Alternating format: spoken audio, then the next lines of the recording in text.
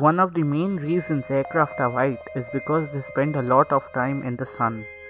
On the ground, aircraft in hot countries will struggle to stay bearably cool in the sun while loading and unloading passengers. A largely white paintwork helps to reflect some of the heat away from the aircraft and to stop it from becoming a furnace. In the air, planes often fly high above the cloud cover and are at the mercy of direct UV radiation from the sun. Some aircraft parts, particularly those made of composite materials, can be damaged by UV rays, so the white paintwork helps to provide some protection from this.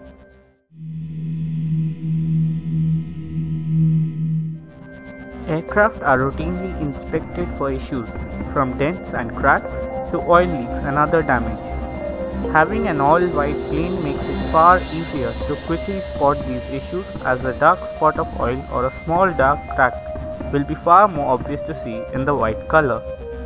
White planes are also easier to see in the dark. When flying at high altitudes, airplanes are completely exposed to various atmospheric conditions. Colored aircraft tend to fade over time and thus require repainting to maintain their aesthetic appeal. On the other hand, an airplane that is painted white or a light color doesn't appear significantly different even after spending a significant amount of time in the air.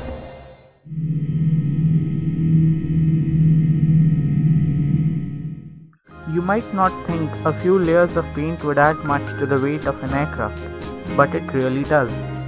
SAS estimate that the paint on a 737 weighs in at 180 kilograms and on a 747 would be as much as 500 kilograms.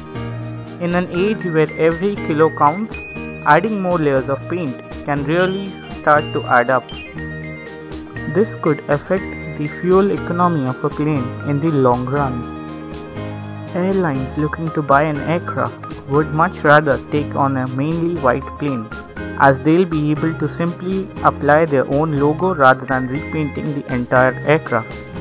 For leasing companies, white planes are highly preferable for the same reason.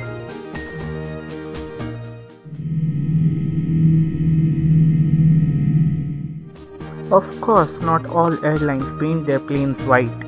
In fact, some go for rather outlandish colors despite being low cost carriers.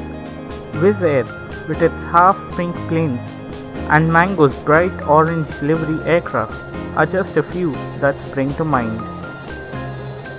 At the end of the day, the aircraft livery is a very important part of an airline's branding, and in the increasingly crowded marketplace of aviation, standing out from the crowd sometimes pays off.